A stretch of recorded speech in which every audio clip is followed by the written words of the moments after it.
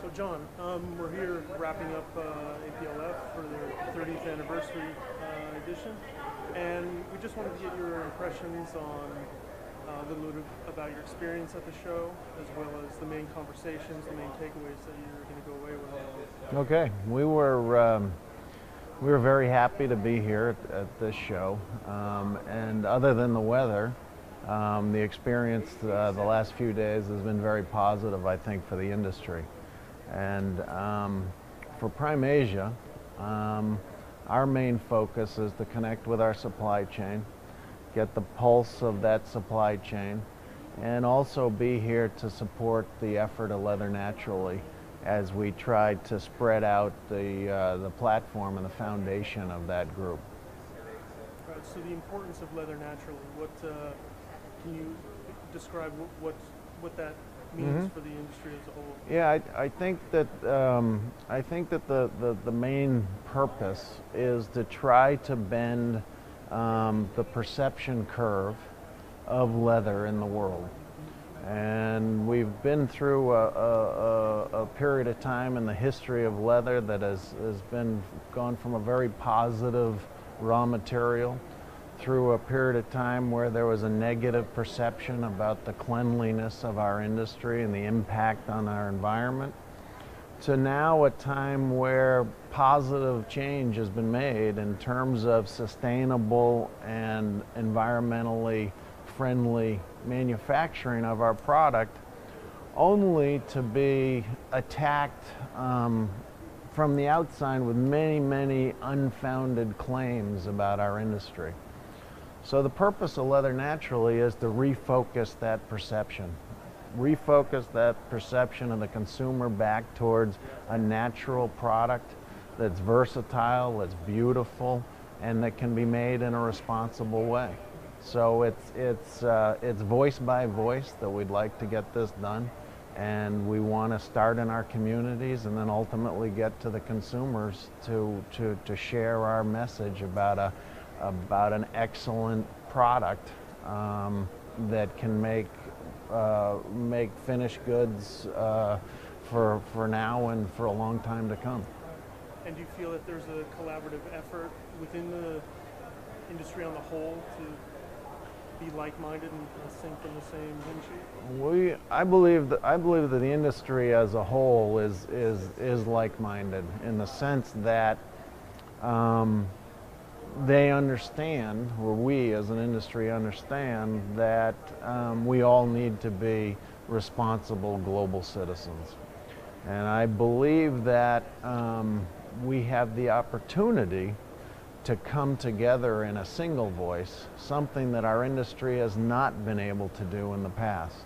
We have not been good um, advocates for what we do as an industry and thus are open to some of these, again, unfounded attacks um, with very little pushback. And so I think that, that uh, Leather Naturally is going to help get that message out. And at the same time, I believe that it will help, it will help unite um, the industry to a, to, a, to a very important common cause.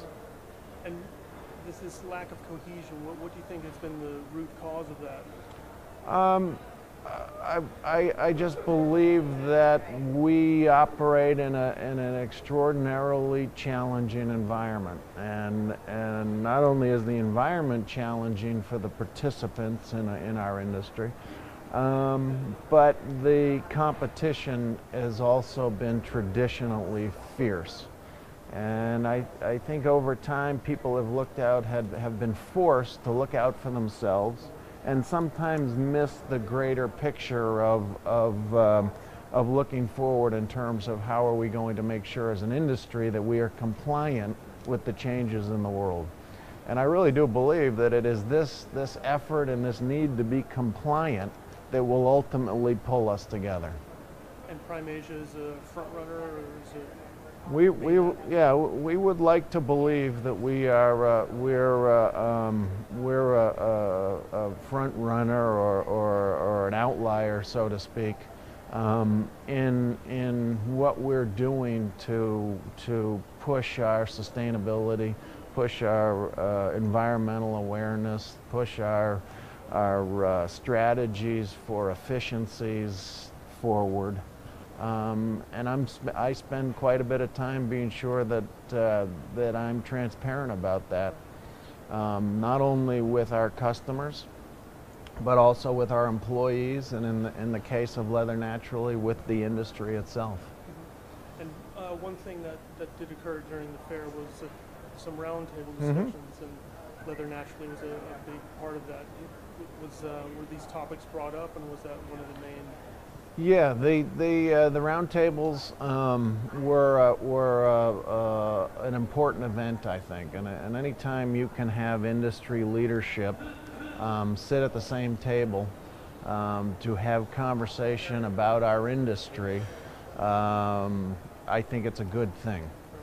In this particular instance, I also think that it was timely because the conversation was not necessarily just focused on leather naturally.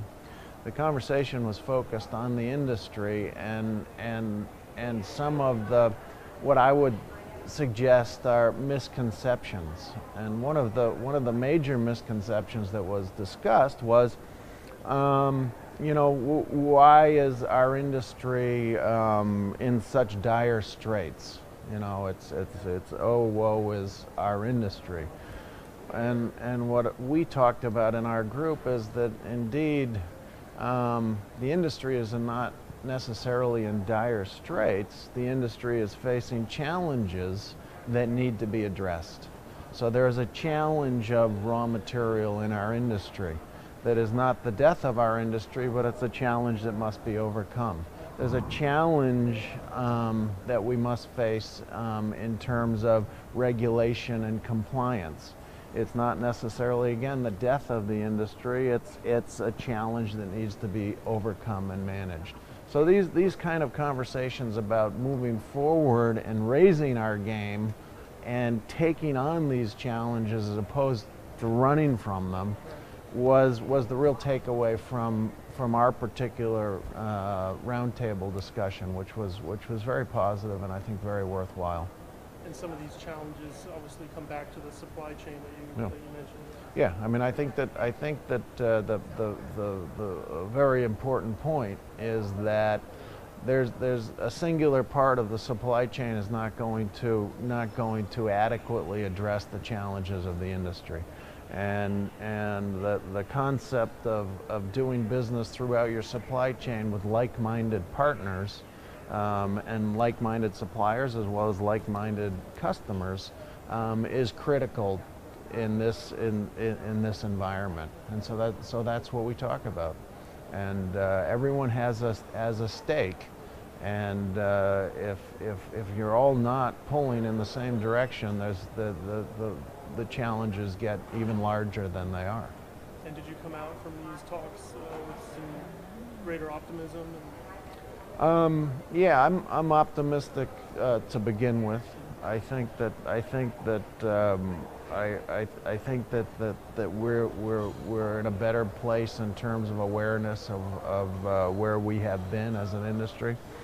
Um, and, I, and my sense is that um, I'm not alone.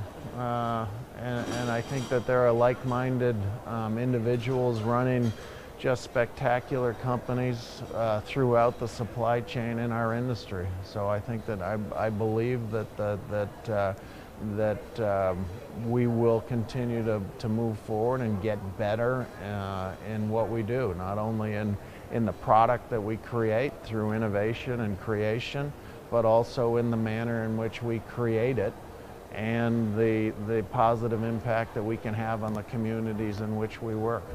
So I, th- I, I think I'm optimistic. I'm optimistic about Prime Asian and I'm optimistic about the, the industry. fantastic. Thank you very much for your You're time. very welcome. Thank you. Thank you.